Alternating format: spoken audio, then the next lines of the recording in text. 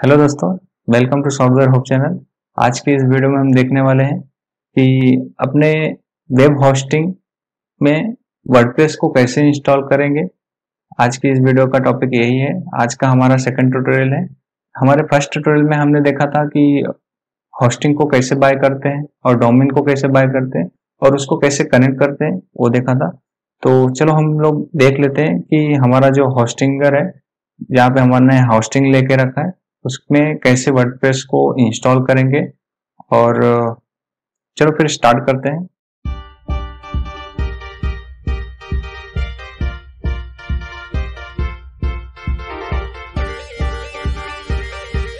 सबसे पहले हम जाएँगे यहाँ पे।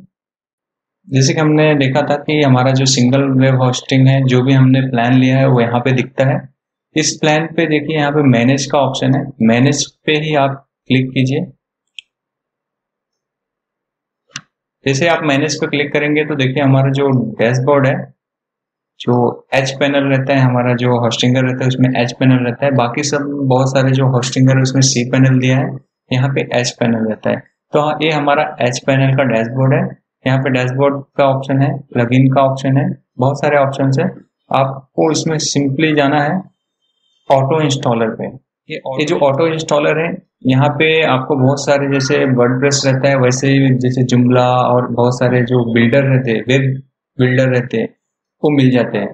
तो आपको यहाँ पे जो भी आपको पसंद है, जैसे आपको जुमला पसंद है तो जुमला पे जा सकते हैं वर्डप्रेस पसंद है तो वर्डप्रेस जाता है, ऐसे बहुत सारे प्लेटफॉर्म है तो आपको ये यहाँ पे मिलेंगे ऑटो इंस्टॉलर में। आपको ऑटो इंस्टॉलर पे क्लिक कर देते हैं और यहाँ से आपको देखिए, यहाँ पे वर्डप्रेस है, उसके बाद यहाँ पे वर्डप्रेस प्लस वो कॉमर्स है अगर आपको ऑनलाइन बिज़नेस करना है, जैसे कि कुछ जैसे फ्लिपकार्ट है हमारा इंडिया में, अगर वैसा कुछ बनाना है वेबसाइट बनाना है परचेसिंग का वेबसाइट बनाना है तो आप वो कॉमर्स यूज़ कर सकते हैं। आप कुछ ऑनलाइन प्रोडक्ट बेचना है तो वो कॉमर्स को सिलेक्ट करके आप इंस्टॉल कर सकते हैं।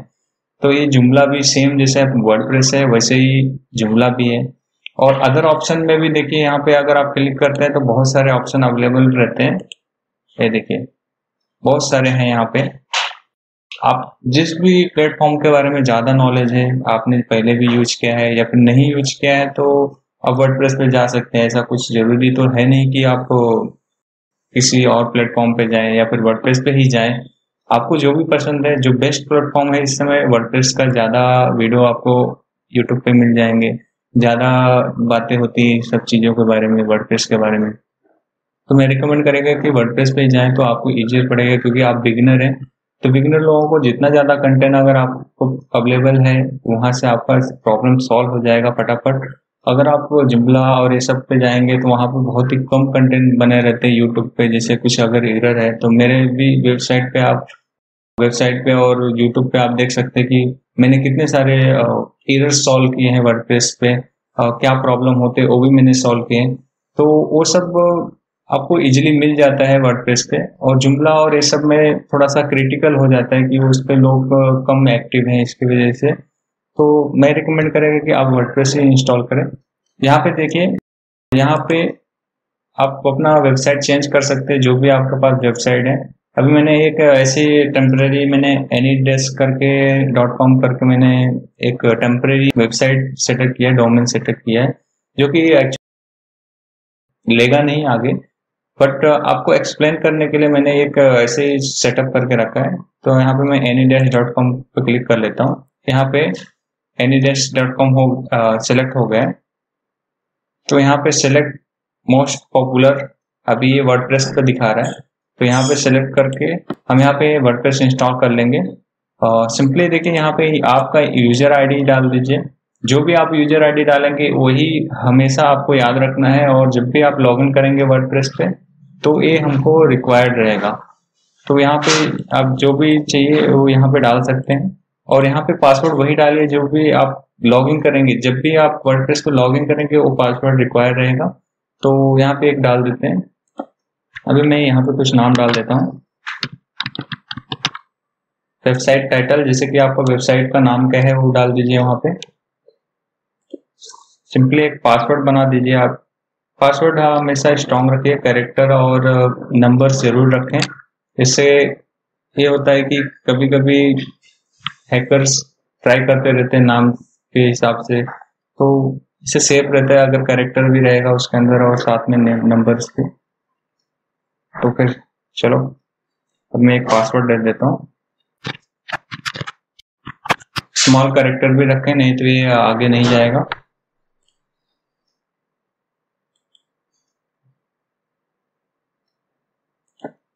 एडवांस में देखिए। और ये एडवांस में कभी भी आपका ये जो वेबसाइट है S T T P S पे होना चाहिए, ना कि एस टी पी पे होना चाहिए।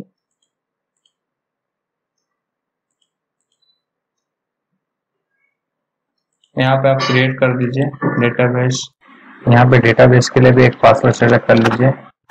ये देखिए। आपको अभी पूछ रहा है, आपका जो एप्लीकेशन वर्जन है, वो 5.93 रहेगा, बता रहा है। आपका डिस्क यूज़ होगा 55 फाइव और यहाँ पे जो आपका पीएचपी वर्जन रहेगा, वो 8.99 और करंट वर्जन 7.427 रहेगा। तो update only minor version turn off automatic update आप जो भी चूज़ करेंगे, वो ऑटोमेटिकली अगर अपडेट पे आपने किया रहेगा तो ऑटोमेटिक अपडेट होता रहेगा। जब भी आपका जो वर्ड का न्यू वर्जन आएगा तो आप ऑटोमेटिक वो अपडेट हो जाएगा। तो मैं चाहता हूँ कि आप आ, उसको बंद रख के जब भी आप चाहिए तभी आप उसको एक्टिवेट करें। तो अपडेट ऑटोमेटिकली है वो बंद करके रखो तो बेस्ट रहेगा। और इंस्टॉल करेंगे यहाँ पे। ये आपका वर्डप्रेस इंस्टॉल हो जाएगा, क्योंकि मैंने यहाँ पे डोमेन जो होता है, उसको मैंने अभी मेरा ये डोमेन नहीं है। इसके वजह से वो आगे नहीं जा रहा है, लेकिन आपका डोमेन इंस्टॉल हो जाएगा। तो कोई भी टेंशन लेने की बात नहीं है। फ्रेंड्स यही प्रोसेस है आपको जो भी होस्टिंगर पे आपको वर्डप्रेस इंस्टॉल करने का सिंपल प्रोसेस है। डरने की कोई भी बात नहीं, लेकिन एक चीज़ याद रखना, जो भी आप पासवर्ड देते हैं को याद रखना और यूज़र आईडी याद रखना। तो आपको लॉगिन करने में इजी होगा। अभी मैं आपको दिखा देता हूँ। आपको जब भी लॉगिन करना है आपके वर्डप्रेस वेबसाइट पे डैशबोर्ड पे डब्ल्यू पी एडमिन स्लैश इतना लिखते ही आपको इस वाले इंटरफेस पे लेके आएगा और यहाँ पे आप यूज़र आईडी जो भी देके लॉगिन कर सकते हैं। जैसे आप यहाँ पे क्लिक करेंगे लॉगिन हो जाएगा।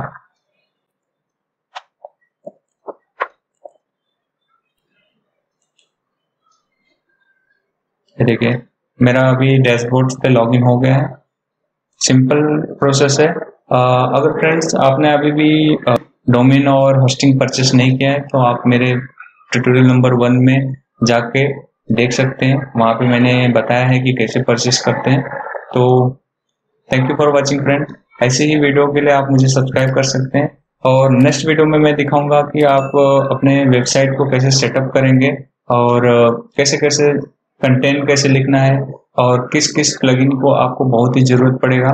तो नेक्स्ट वीडियो में मैं उसको ही एक्सप्लेन करूँगा। Thank you for watching friend मिलते हैं नेक्स्ट वीडियो में।